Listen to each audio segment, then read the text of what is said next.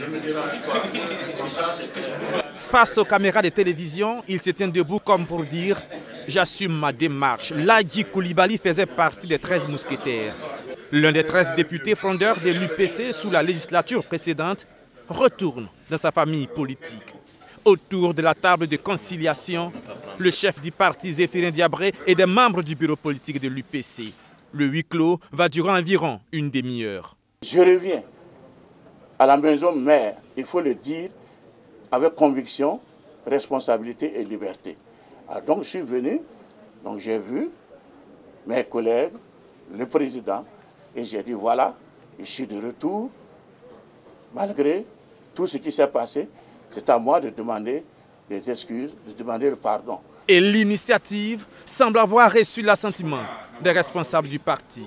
Le frère Ladi avait émis le vœu euh, de pouvoir euh, se réconcilier avec euh, la famille mère qui est l'UPC.